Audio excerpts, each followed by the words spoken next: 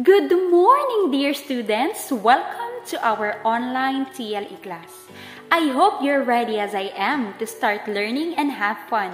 We're in this together, so let's do our best and support one another as we learn together.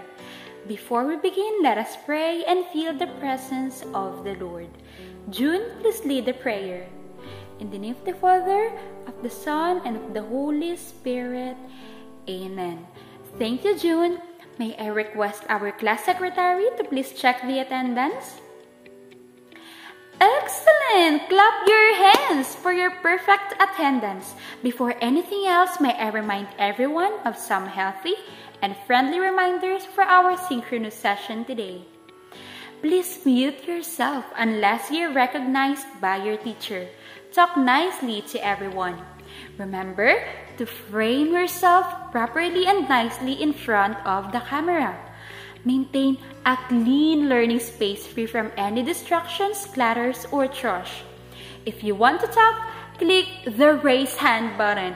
And lastly, don't forget to smile. It sets your mood for the day.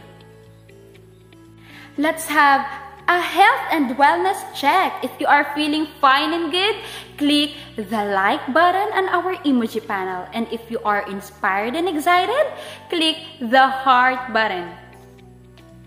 Wow, it's wonderful that you are all inspired and motivated. I'm relieved and I'm more eager and inspired to be with you all, to teach and to motivate you to do well and to live more despite these trying times. Alright, so much for that. Anyone who could give a short recap of what we discussed yesterday? Yes, Dennis. Short memory, Dennis. Yesterday, you learned the different methods of cleaning and sanitizing kitchen tools and equipment for efficiency in the workplace and at home. And there way to go. This morning's synchronous session is guided by our learning objectives. At the end of this meeting, you will be able to clean, sanitize, and store kitchen tools and equipment, define dishwashing, identify proper dishwashing techniques, relate the importance of dishwashing in controlling the spread of diseases, and lastly, perform dishwashing procedures. But before that, let's have a short icebreaker. Have you ever played Never Have I Ever before? Well, that's okay. Don't worry because I will be presenting the guidelines as to how we will play the game. Here it is. There are five Never Have I Ever dishwashing related questions made by the Game Master. The Game Master will flash a random Never Have I Ever question on the screen. All students are required to join the game. If you have done the statement, you have to send a thumbs up emoji in the comment section and if not, send a smile emoji otherwise. Have fun class! Okay, let's get started. First statement. Never have I ever sung while washing the dishes. Next, never have I ever cried over a pile of dirty dishes. Next, never have I ever infuriated my sibling by adding more soiled plates in the kitchen sink while he or she presently doing the dishes. Never have I ever volunteered in washing the dishes. And lastly, never have I ever shattered the dishes away.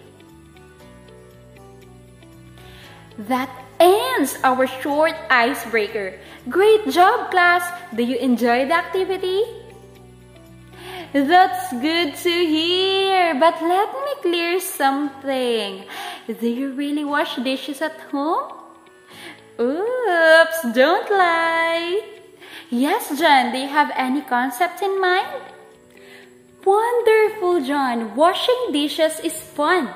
But some of us might think that we don't always have a choice but to perform this task. Next time you find yourself complaining about it, acknowledge that having dirty dishes means you just have made a nourishing meal for you or your loved ones. Try to see this as a privilege. Okay, class?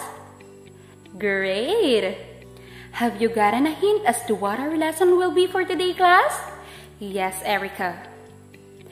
Marvelous! You figured out that fast! Who among you can define what dishwashing is? Yes, Melody. Tremendous! That's it! Dishwashing, washing the dishes, or doing the dishes is the process of cleaning cooking utensils, dishes, cutlery, and other items to prevent foodborne illnesses. Dishwashing is necessary to keep a kitchen clean, plates and silverware safe to use. Can anyone volunteer on reciting the dishwashing procedures you're doing at home? Yes, Peter. You haven't missed a thing, Peter. Now allow me to demonstrate these steps for you. Okay, let us have the first step. Anyone who can give the first step and discuss it? Yes, Brian. Bombastic, Brian! You give me an idea that you really are washing the dishes. Just a tip, we never pour grease down the drain because it can cause a clog. Do you get it, class? If you understand the first step, click the thumbs up or like reaction. Great! What about the second step? Yes, Brenda. Excellent, Brenda! Just a rule of the thumb throughout the process, drain the water and start over if it becomes greasy or if suds disappear. Do you get it, class? If you understand the second step, click the wow reaction. Okay, amazing! Now, let's proceed to the third step.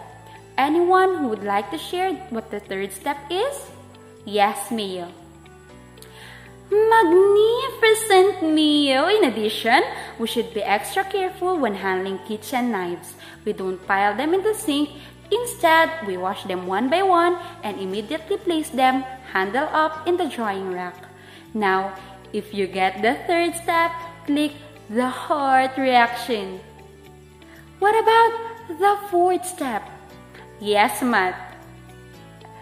Wow, very clear Matt. We make sure to rinse inside cups, bowls, and glassware. Very well. If you understand the fourth step, click the clap button. Let's keep going now. What about the final step? Yes, Junior. Fantastico, oh, Junior. The last step in dishwashing is drying. Remember to clean up when you are done.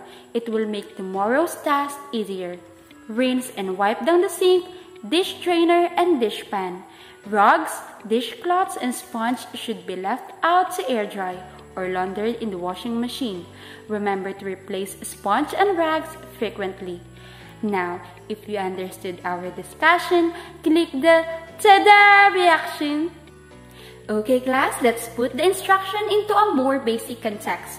Just always remember the acronym PFWRD, then you'll get the hang of it. P for pre-wash or scrape of food. F for fill or get some clean or soapy water. W for wash, scrub them under the water. R for rinse, wash off all suds and residue. And D for dry, air dry or towel dry. Okay, who among you can recite again the five basic dishwashing techniques? Yes, Mary. Outstanding! If everyone got our lesson for today, kindly send a heart emoji at the comment box. Just a healthy reminder class that just like dishwashing, hand washing is an easy, effective, and affordable way to prevent disease and save lives. Most especially now that we're in the middle of a pandemic, keeping hands clean is one of the most important steps we can take to avoid getting sick and spreading germs to others. You certainly did well today, class. It's such a pleasure to teach when you work like that. What questions do you have in mind? Extraordinary! Thank you, class, for being with me today. Let us give one another a boom, boom, wow clap. Okay? One, two, three. One, two, three. Boom, boom, wow! Before we end this meeting, I'd just like to inform everyone that our quiz for the day and the assignment was posted in our Google Classroom. Just click the link provided and message me if you have any concerns regarding it. Again, this is Shane Carla F. Estacio, your teacher. Goodbye class and don't forget to wash the dishes. Stay safe!